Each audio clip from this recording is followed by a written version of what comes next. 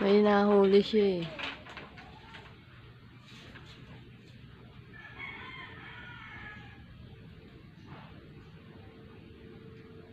Ayun, ang laki ng ano niya.